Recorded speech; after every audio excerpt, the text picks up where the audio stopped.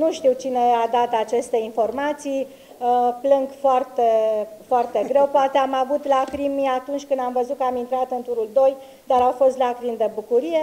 De altfel, domnul Manda este lângă mine, poate... Puteți să câștigați alegerile, domnule Manda, cu o citez proastă ca doamna Dăncilă? Ce am citit și eu foarte pe scurt acum, apărute din Comitetul Executiv de aici, sunt exagerări. Pot să vă spun tuturor, la Dolci Viorica Dăncilă a ieșit pe locul 1 în turul 1, la Dolci Viorica Dăncilă va ieși pe locul 1 și în turul 2. Și atunci de ce, doamna Urcuța Vasilescu, v-ați retras din poziția de șef de campanie Comitetul Executiv și ați revenit asupra acestei decizii?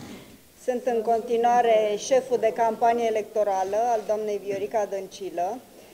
De altfel nu este o funcție politică, așa cum știți dumneavoastră, doar candidatul este cel care decide șeful de campanie electorală și mă simt mândră că a avut încredere în mine și pentru turul 1 și pentru turul 2 ca să fiu uh, șeful campaniei electorale, suntem foarte mobilizați și vom câștiga aceste Eu v-am alegeri. întrebat de ce i-ați anunțat pe colegi că renunțați să mai fiți șef de campanie și apoi ați revenit asupra Nu am deciziei. anunțat, am avut un obiectiv de etapă, intrarea în turul 1, turul 2 și apoi avem ca și obiectiv pentru etapa următoare câștigarea alegerilor.